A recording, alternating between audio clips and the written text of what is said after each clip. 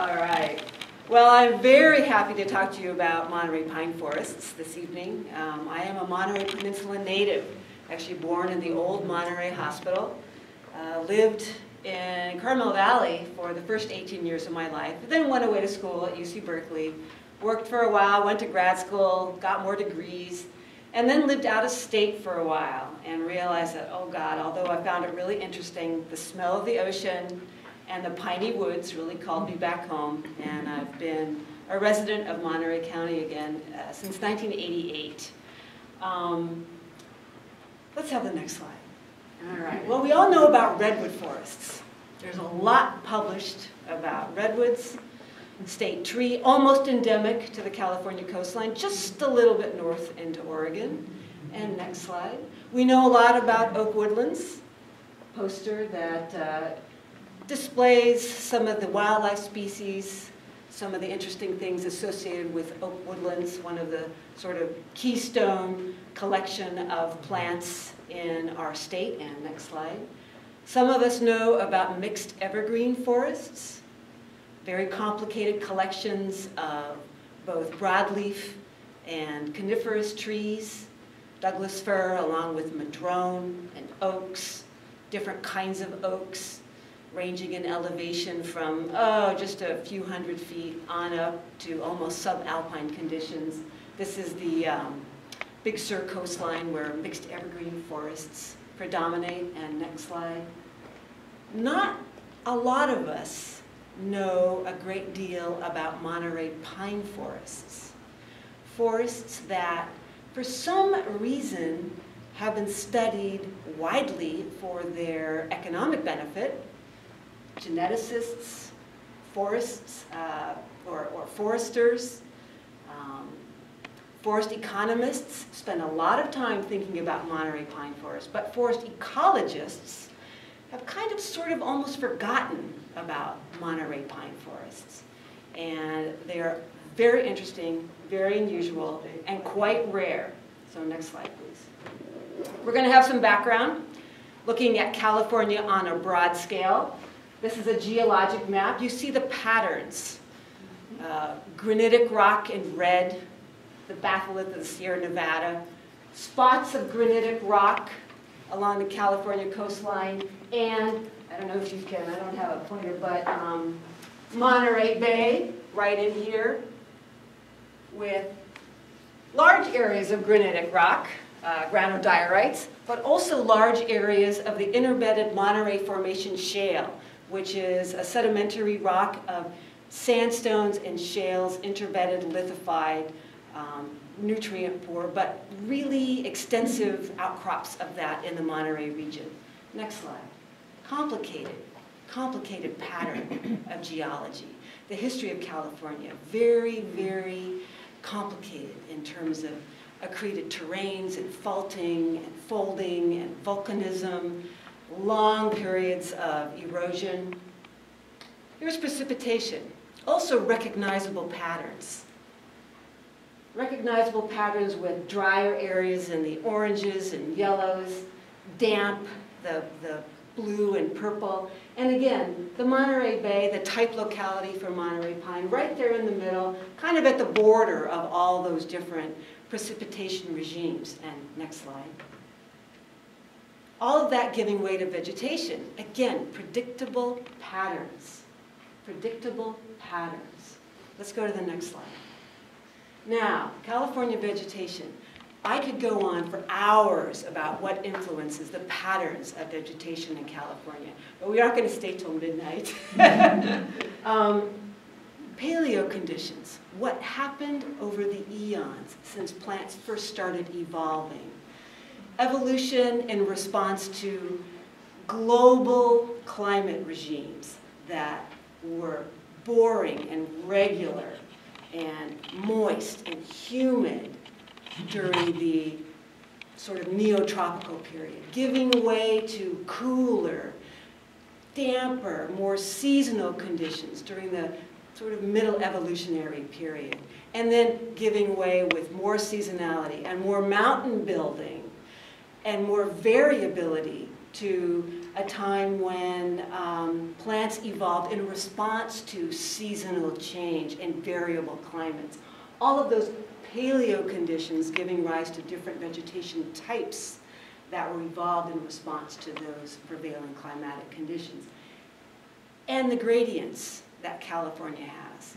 Latitudinal gradients from Mexico to Oregon, from dry and warm to cool and damp. And then topographic gradients, gradients that influence the pattern of vegetation from coastal to mountain, uh, aspect from east to west, microclimates developing from even small variability in topographic gradients.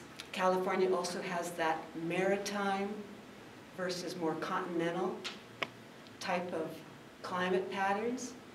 Maritime conditions along the coast, moderated by the proximity of the Pacific, regularly, you know, moderate, as opposed to inland, think about Modoc County or on the east side of the Sierra with severe cold winters and hot, dry summers.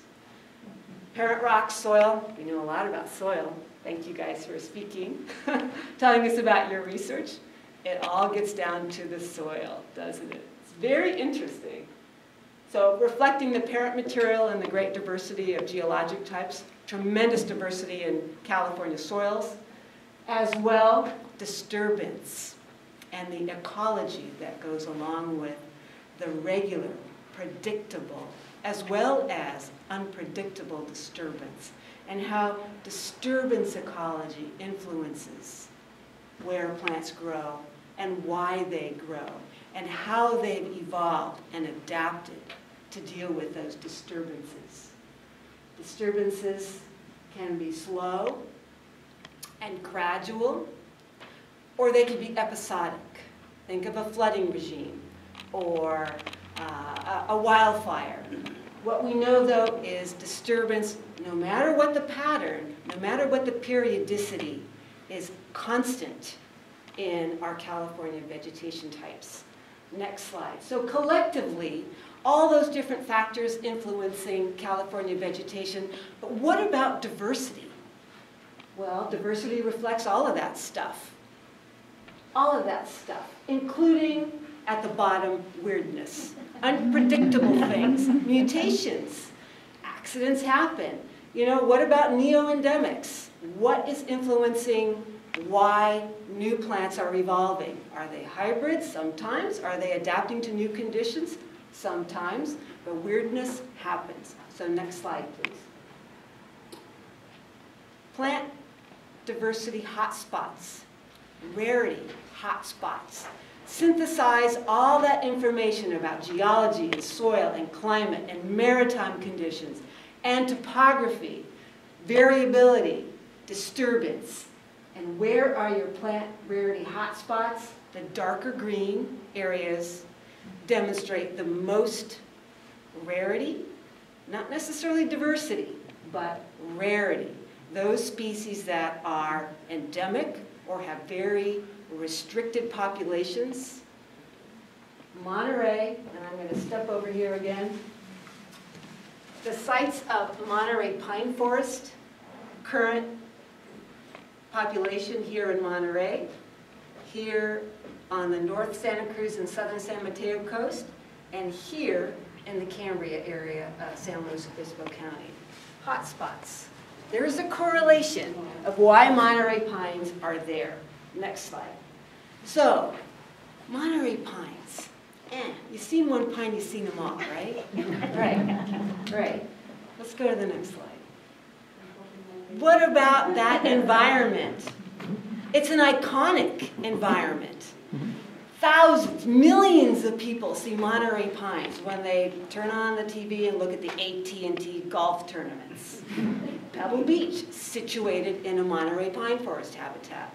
That iconic environment characterizes and defines the Monterey Peninsula, the type locality for Monterey pine.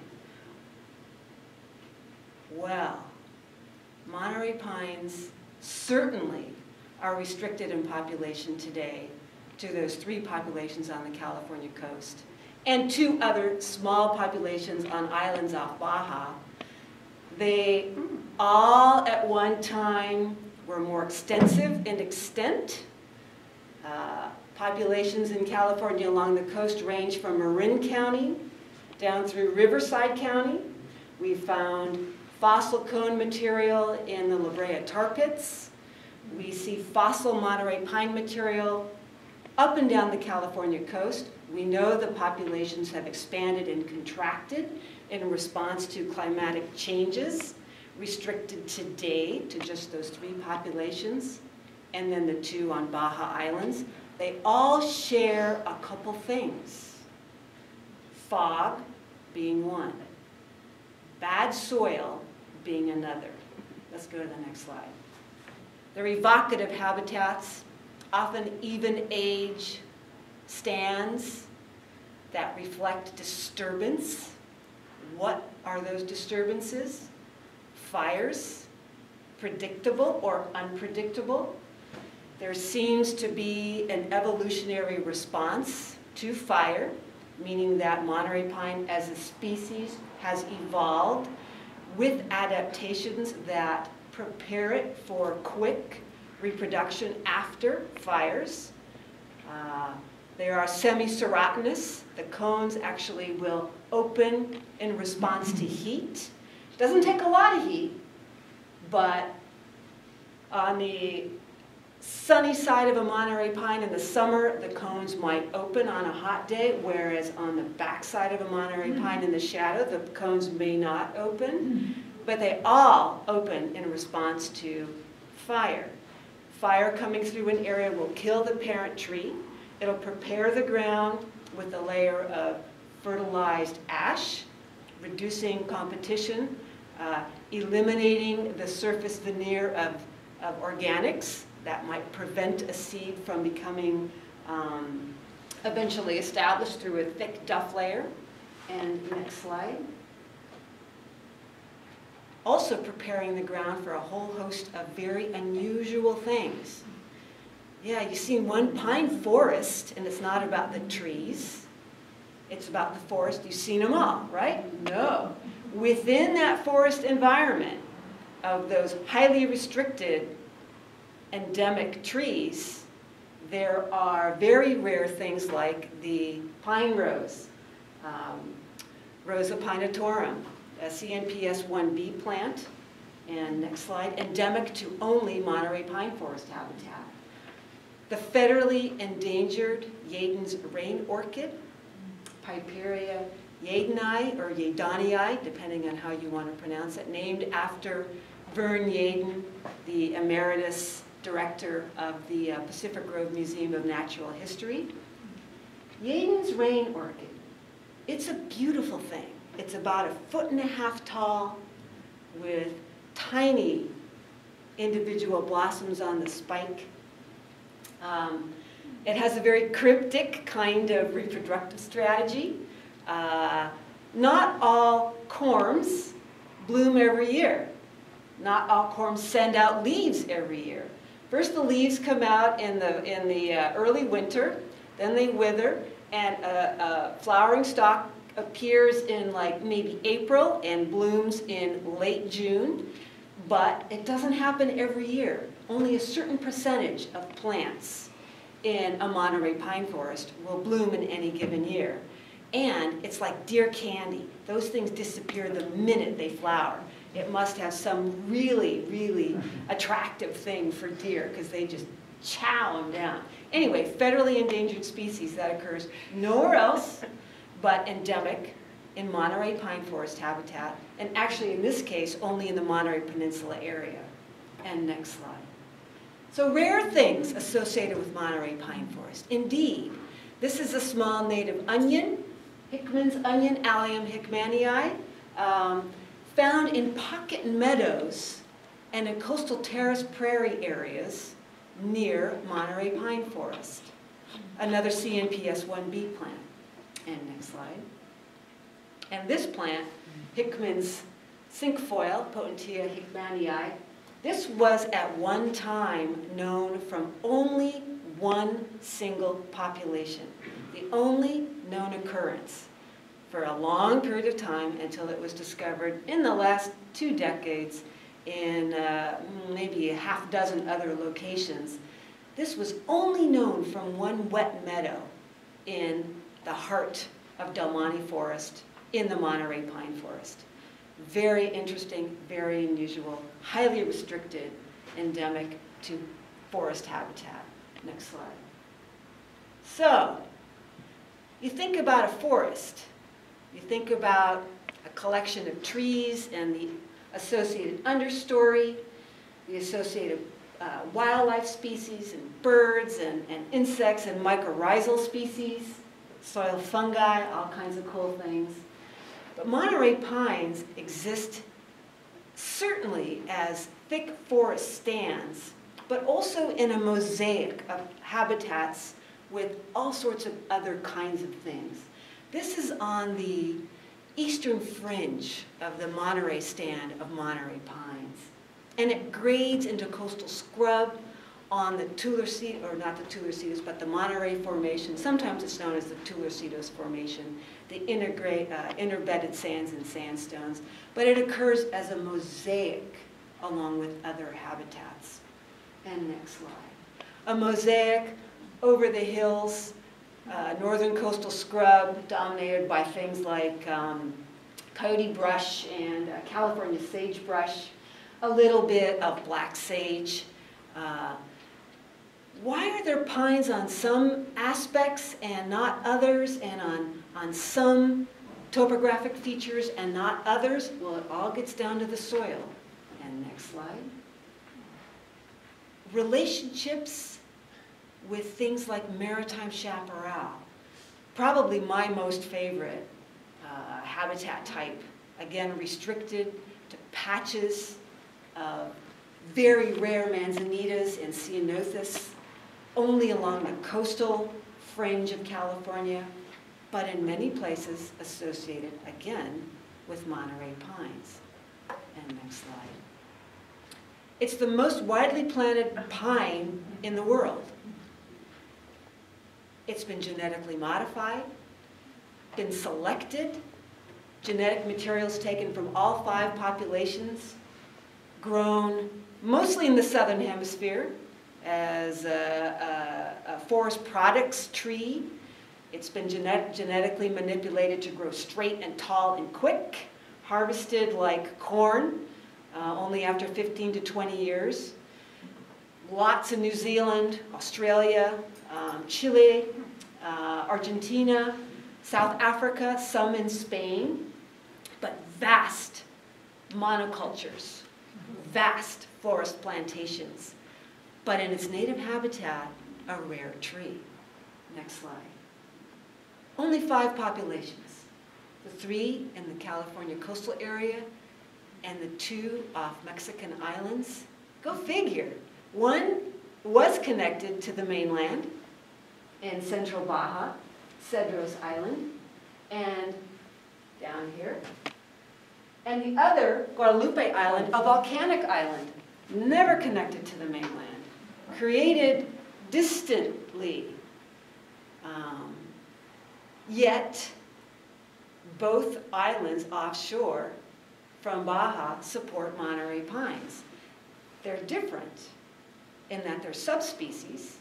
They have two needles instead of three, like our Pinus radiata Monterey pines, yet the genetic sequencing indicates that they are truly Monterey pines. Talk about cryptic differences.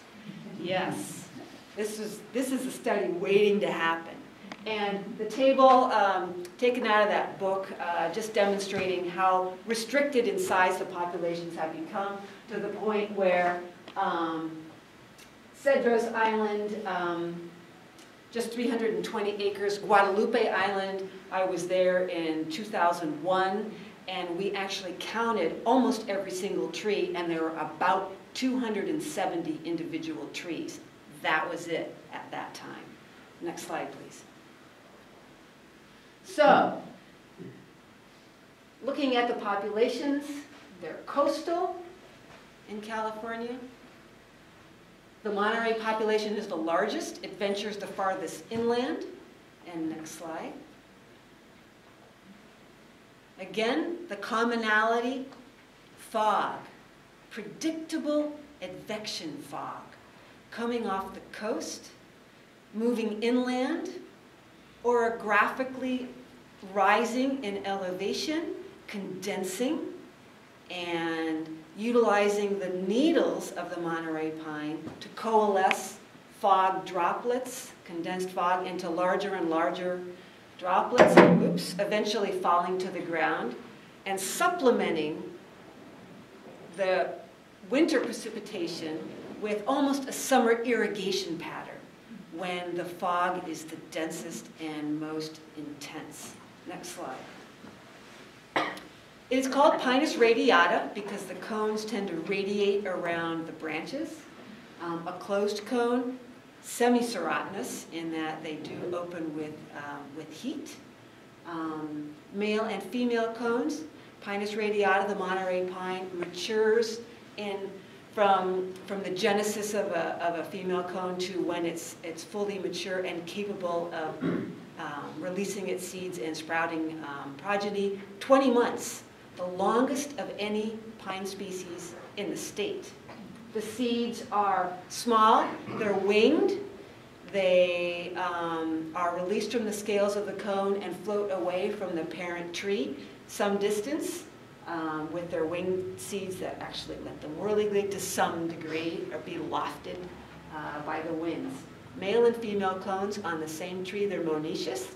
Um, I don't understand the process of fertilization of the female cone, um, but it has to do with enzymes in the pollen that somehow penetrate the developing uh, cones, the female cones, and are able to fertilize the embryo before the um, surrounding material becomes woody.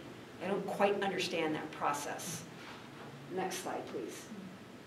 In Monterey, this is a historic image, um, a little bit hard to understand, but the salmon color that's paler in the background is the historic extent of Monterey pine forest habitat on the Monterey Peninsula. The darker salmon colored is what's currently extant and not in an urban, urban forest setting. The green, bright green, are protected areas supporting Monterey pine. There's not a lot of protected areas.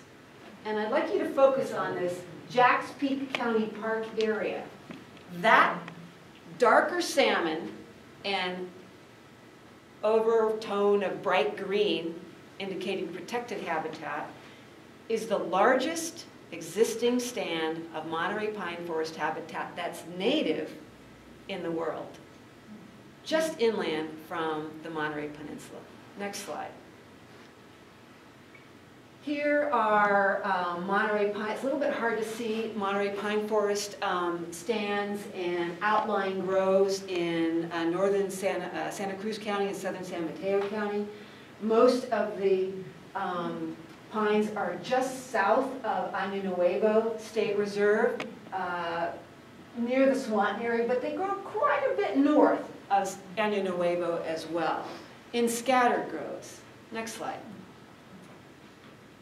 And the southern population in Cambria, um, you see that lighter salmon color in the bottom, urban forest of the town residential development. Bright green with some protected areas, mostly conservation easements that the Nature Conservancy holds. Next slide. And here on Baja, Guadalupe Island and Cedros Island, Guadalupe on the left-hand side with the individual trees, big, giant, stalwart remaining trees.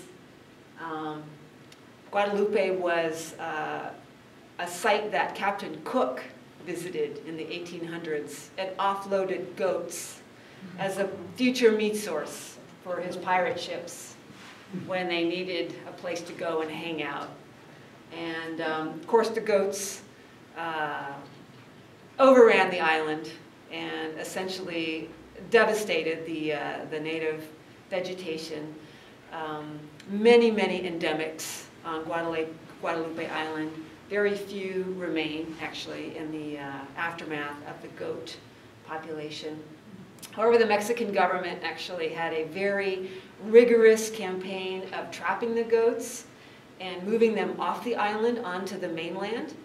And um, the few wily goats that they were not able to trap, they hunted and removed. And as a consequence, the pine forest is actually coming back. The goats had denuded the island of any kind of protective veneer of vegetation, so any rain uh, caused massive erosion, depleting the soil, you know, removing the soil from much of where the Monterey pines um, should have had the opportunity to seed. But with the removal of the goats, and I guess the genesis of organics now under the trees with the, um, the leaf and needle fall, there are um, success stories to be told with juvenile pines coming up to replenish that 270 individual population that um, was there in, in 2001. So there's a, a restoration success story. Cedros Island, very different situation with the, the groves of Monterey pine. They are, honest to goodness, groves. Um, and they are subject to occasional fires, generally human-caused fires, but they don't have the pressure of the goat grazing that Guadalupe Island did. Next slide. Again, fog. So genetic variability, indeed. Um, not so cryptic, in a sense, with cone size, and not so cryptic, in a sense, with three needles on the mainland populations and two needles on the island populations. But clearly, there are morphological differences in all of the populations. Island biogeography makes sense to me. Um, tenets of island biogeography, the island cones are smaller than the mainland cones. Um, Monterey is right smack dab in the middle. Cambria and the Año Nuevo cones are on the left, much larger, on the periphery of the current populations, the north and southern ends. Next slide. But one thing that the mainland populations share, besides the fog, are their soils and their geomorphic soil development, which in each of the three locations has taken place on a series of marine terraces wave-cut platforms in bedrock that reflect long periods of time when ocean levels were at a relatively static elevation long enough to actually, through the wave activity, um, erode platforms in the bedrock. And as sea levels went up and down, these terrace formations have persisted, sometimes tilted if there's been tectonic activity and not so graphically perfect like this example, but sometimes relatively flat. And these ancient geomorphic surfaces and the pedogenesis, or the soil development on these ancient surfaces, has given way to Monterey pine forest associations that on each of the terraces is ever so slightly different. Soils on some of the terraces still maintain a veneer of ancient dune sands, aeolian sands. In some places, the dune sands have been worn away and the soils are very shallow. They're podzolized soils. They're acidic, reflecting their coniferous tree relationship. These shallow soils evolving in place over the eons of climatic change when this was all happening, have had heavy metals like iron tend to leach to a certain level and form hard pans. So you have hard pans, shallow, nutrient-poor, acidic soils, in some places covered with sand. These are nutrient-poor. They are tough, tough soils. They don't percolate moisture. They actually create perched water tables. Very interesting soil environment for plants to grow in. So next slide. Here's a, a, graphic of the Monterey Peninsula with a sort of a, a, color orientation to the age of the marine terraces. They ring the Monterey Peninsula, which is mostly a granodiorite bedrock type with inland soils being on those Monterey Formation interbedded uh, sandstone and shales. And the highest terraces at the highest locations the poorest soils, bless you, have really interesting plants that grow in association with the Monterey pines. Mostly they're the endemic manzanitas and ceanothus that you find with the globally rare maritime chaparral. Very interesting. So let's go to the next slide. So the soils were studied um, in uh, the mid-1990s by soil scientists affiliated with Jones and Stokes, a consulting um, business consulting outfit in uh, Sacramento. The Jones and Stokes um, soil scientists did some of the, the early work on Monterey pine forest environments. Just hasn't been studied much. People aren't that curious about it, I guess. And next slide.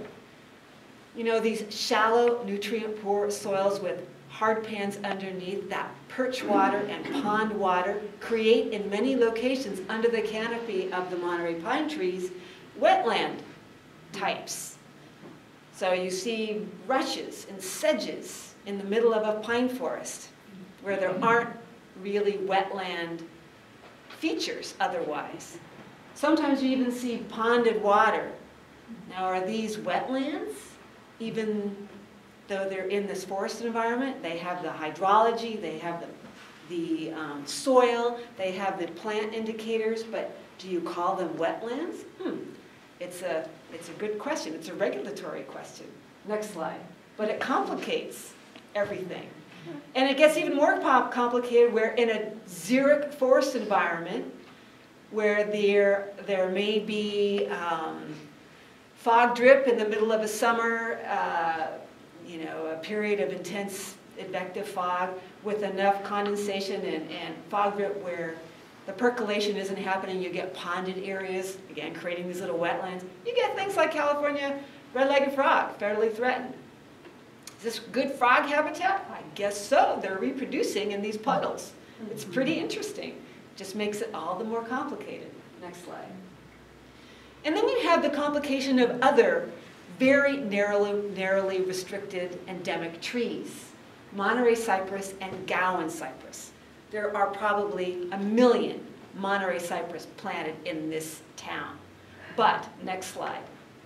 The original native range for Monterey cypress is in two groves on the rocky headlands fringing Carmel Bay.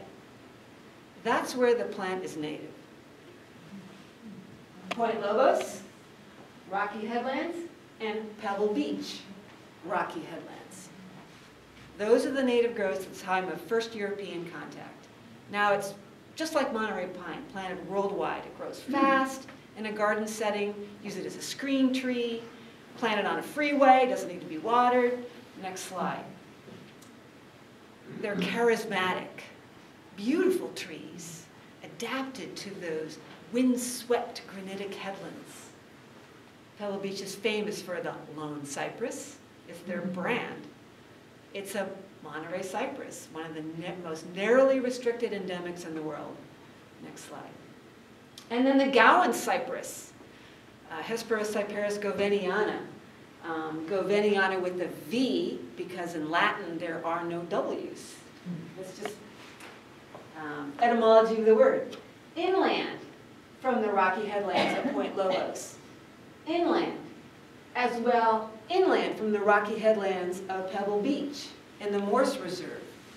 Higher in the marine terrace sequence, not the very top, but higher in the marine terrace sequence, where the soils forming in place over the millennia through the wax and wane of climatic regimes and, and sea level elevations created the worst of the worst soils.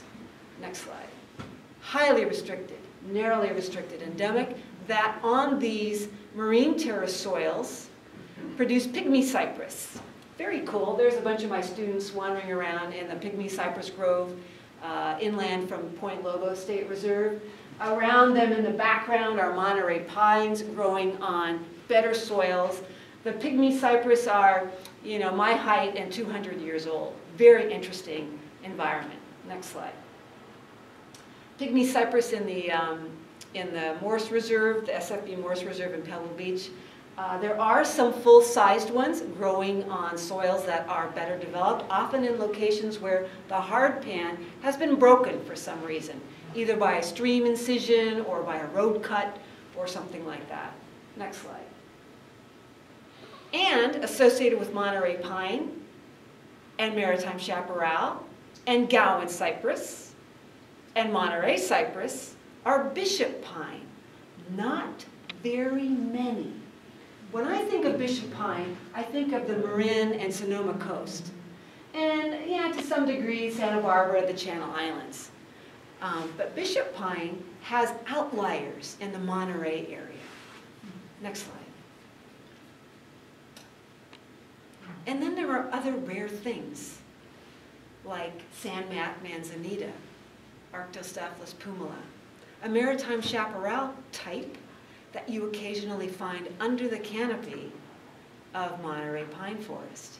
Now, does that tell us that that area used to be maritime chaparral and has been invaded by Monterey pine in the absence of some kind of a disturbance like fire? Or are maritime chaparral and Monterey pine forests somehow connected? The research just hasn't been done. Next slide. Another very restricted endemic, Hooker's manzanita, Arctostaphylos hookeri, same thing. It's a maritime chaparral type, endemic to the Monterey Peninsula. Nowhere else in the world. Maritime chaparral, but occasionally you see it in Monterey pine forest. What's the relationship? We don't know yet. Next slide. And bear grass. We talked about bear grass at dinner. Super common in the Rockies, more common in Northern California, really, really, uh, uh, gets to its most southern extent in Monterey County, associated with maritime chaparral, again, and Monterey pine forest. And in Monterey, it only blooms like this after it's burned. It needs fire. It is adapted to fire, becomes reproductively capable after fire. Otherwise, it doesn't send out flowers. This is not a grass. It has blades that resemble a sedge. Um, it's formerly in the lily family. I can't remember what family it's in now. Xerophyllum tenax. Oh, you got Yeah, there we go. Melanthiaceae. That's a mouthful. Very unusual, but again, associated with our Monterey pine forests. Next slide. Here's another super rare thing that should be federally endangered. It has no state or federal status. It's a CNPS 1B plant. Super rare, Eastwood's golden fleece. Nowhere else but in Monterey pine forest and maritime chaparral. All these rare things associated with Monterey pines that are so common, it's the most widely planted timber tree in the world. Next slide. We just don't know enough. And my favorite, I named my dog after this plant, chinkapin. You know, the, the smooth, wonderful seed pods are held in a spiny, rough burr. You know, that's just like my dog. Sweet on the inside, she has a growly exterior.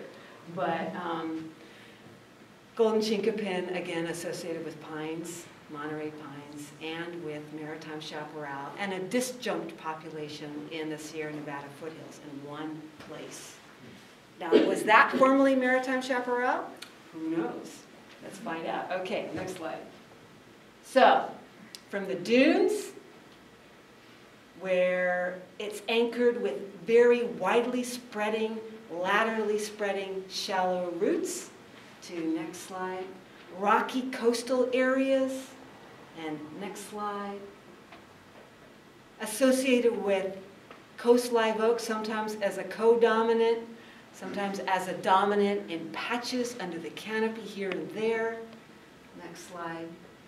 So in 1992, a bunch of conservation-minded people got together, uh, representatives from CNPS, the Sierra Club, uh, a group, a nonprofit called the Marina Dunes Coalition, um, a gal from uh, Fish and Game at the time, Fish and Wildlife now, California Fish and Game, joined us.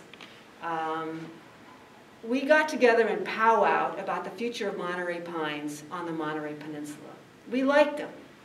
We thought, wow, no one's really caring about Monterey pine forests. There are no advocates for Monterey pine forest. There was a huge development proposal in the Del Monte forest of Pebble Beach the build out of Pebble Beach.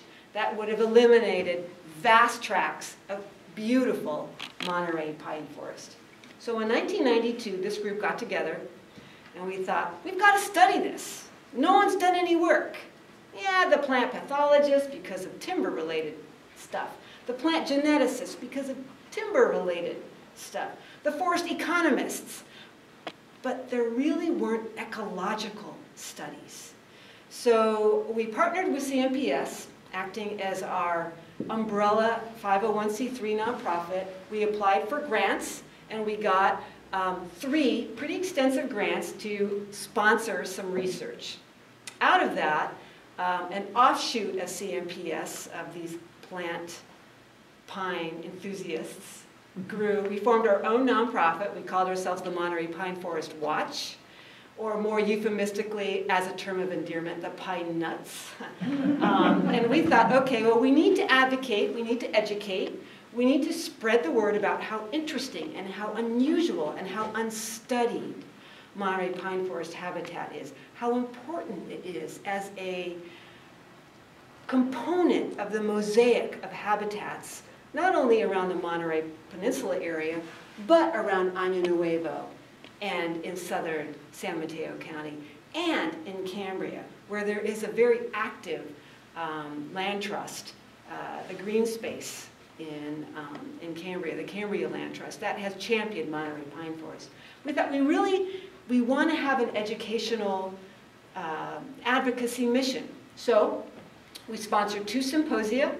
We had a number of articles in the 1990s in Fremontia, um, we published a brochure, and then we thought, you know, we're not making a big enough impact conservation-wise. After commenting on EIRs and working with the Pebble Beach Company, we were beginning to have some successes, but we decided we'd write a book. So next slide. We did. It was book by committee. it took six years, and literally every comma was deliberated. Every comma. We made it a community effort. We solicited donations from the community. We solicit, solicited photographs and sidebar information from the community. We had enough money to hire a book designer who, since none of us are graphic artists, who put it all together for us. Basically four writers and all sorts of expert helpers from ph photographers to um, university professors. Next slide. But we're amateurs in a sense. We're not forest ecologists. We wanted to highlight the Monterey area. And next slide. The Año Nuevo area, southern San Mateo County. And look at that marine terrace sequence right there. Very cool. Hmm. Next slide we realized that in the Año Nuevo area, the population of Monterey pine was separated by Waddell Creek, with pines north and south of that, in the matrix of other forest species. And next slide. Very interesting, we found that knobcone pine on the right top and Monterey pine on the left top actually hybridize, on lower cone even though their populations are disjunct and they don't mingle, they're separated by about a mile, still there are hybrids in between. No one's ever studied that. So go get some of your PhD buddies to study that. Next slide.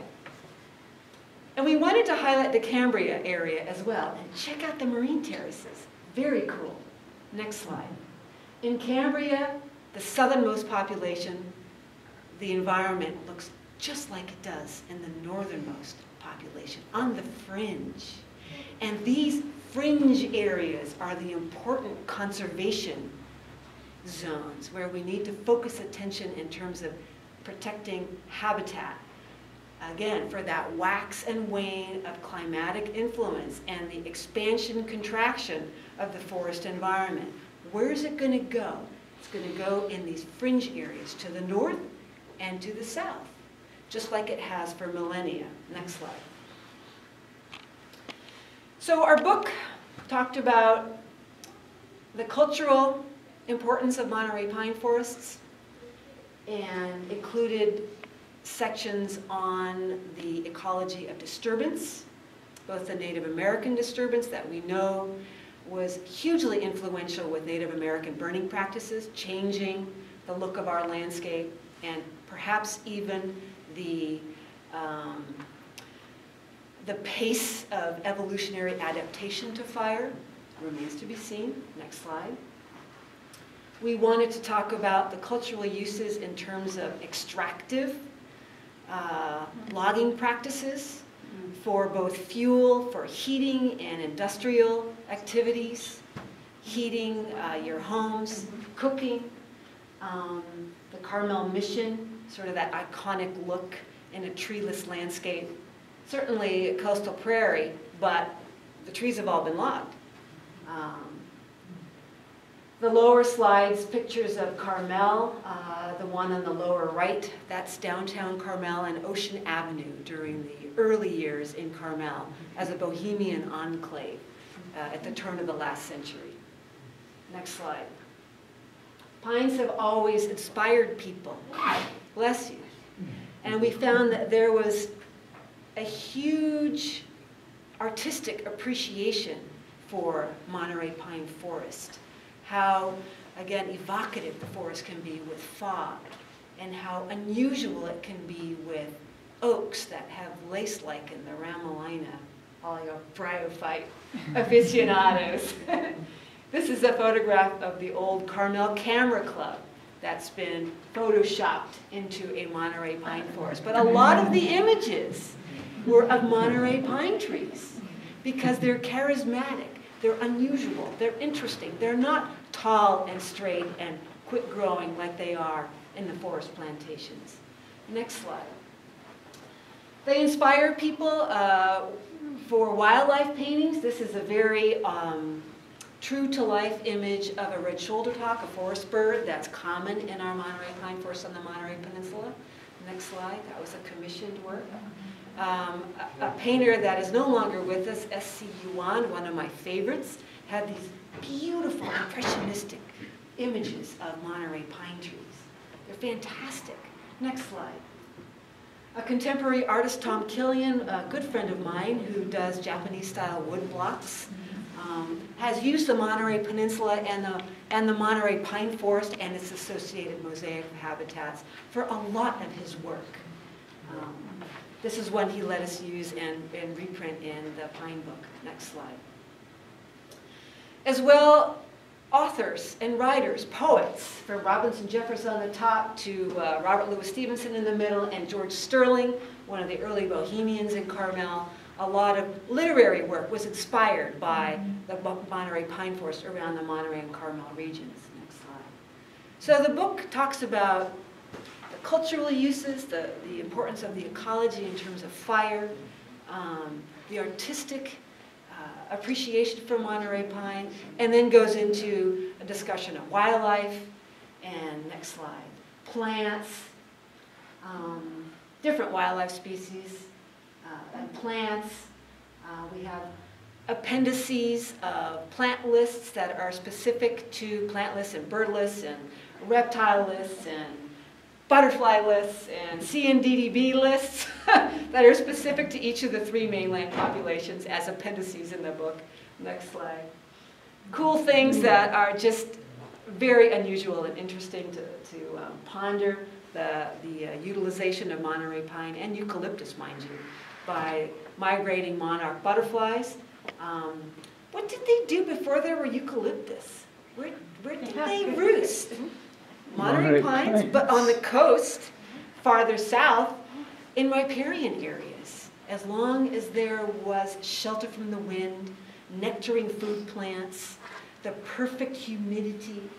Um, but they found that on the Monterey Peninsula in the pines. Next slide. So, uh, the Monterey Pine Forest book, um, published by independently by the Monterey Pine Forest Watch. We started the Pine Nut Press to do that. Uh, our mi mission was educational.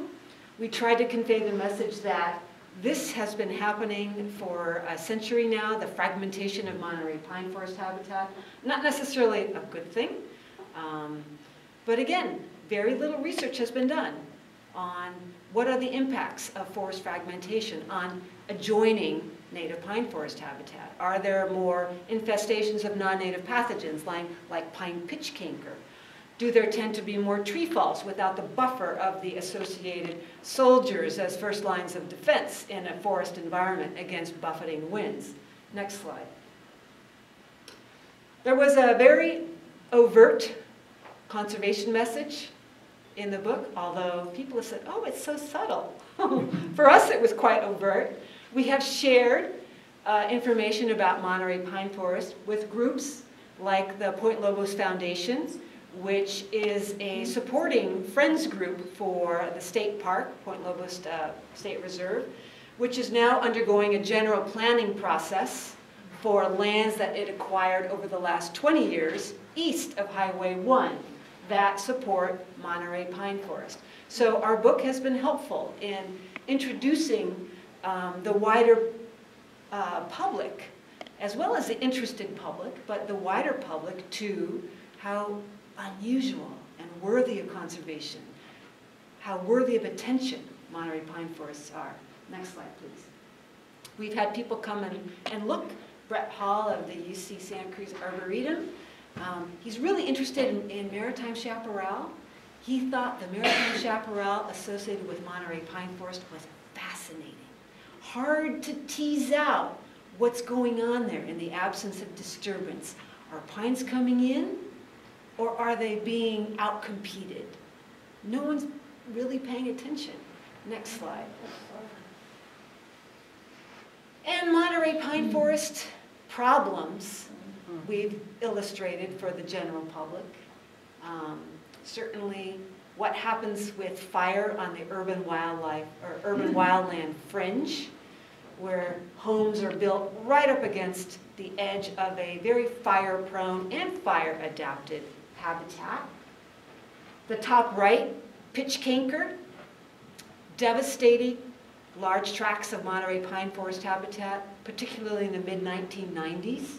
When it was first discovered in the mid-1990s, the dire, draconian predictions were for 85% of all native Monterey pines to succumb and die.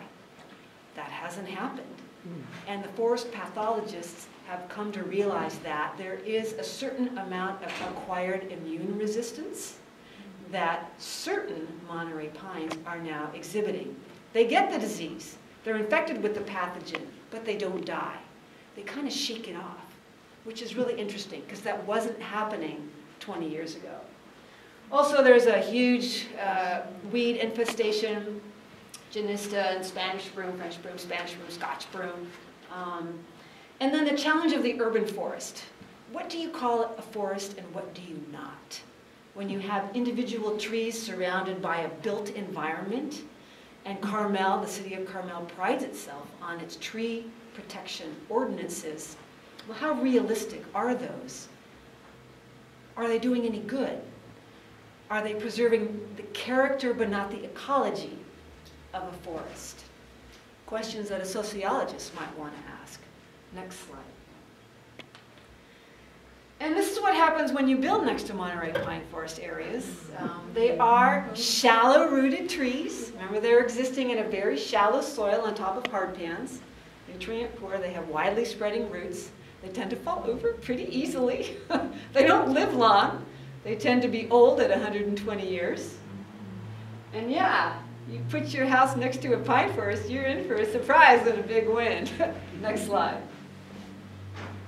Um, there are reproduction issues. How do you manage a forest that likes to burn, that might need to burn, that has a hard time uh, producing seedlings when viable seed, which are stored in the seed bank on the tree, are released onto a forest floor without there being mineral soil in direct contact for seeds to germinate in? How do you initiate a reproductive cycle that's successful without burning? Very difficult. Next slide. That's a seedling. How do you deal with the proximity of our urban environment and our rural, rural residential areas with a burning ecosystem? a management challenge. Absolutely. Next slide. So we identified these three conservation zones and for the last 20 years have advocated for, um, oh, you know, protective ordinances, um, landowner incentives to maintain Monterey pine forest habitat. We've reviewed city ordinances. We've actually lobbied heavily the open space districts and I'm happy to say that in our target zone around Jack's Peak Park, the largest intact Monterey pine forest in the world, all the area to the north, this, um, I probably can't tell, but that, that area to the north of what it, where it says Jack's Peak Park was just in the last six months purchased by the Monterey Peninsula Regional Park District from the Pebble Beach Company. It was developable, prime real estate, and for a good price, we've added 900 acres of protected Monterey pine forest habitat. It's phenomenal. But again, it's not just pines. There's great maritime chaparral, fantastic Yadon's piperia populations. All the suite of all those super rare things occurs in that addition to Jack's Peak Park. Next slide. Um, and I think that might be the last one. Is it? Why don't we go one more? Let's see. It's, oh, no. Um, so the last educational message that we wanted to share with the, with the public was get out and go for a walk. Go and explore your Monterey pine forest habitats. So we made a concerted effort to identify all the publicly accessible parklands that support Monterey pine forest habitat, both north of Monterey in the Año Nuevo Swanton area and south of Monterey in Cambria and certainly on the Monterey Peninsula. And next slide, we did a little description and a map with hiking trails that are all GPS correct uh, for all these places that support Monterey Pine as an encouragement for the public to go out and explore these areas. Use the appendices in the back of the book to identify those cool plants and butterflies that they find and hopefully the conservation message subtly permeates their psyche. and we form more new pine nuts to help us. And hopefully future pine nut researchers over here, right? Okay, thank you. That's the last one. And I'm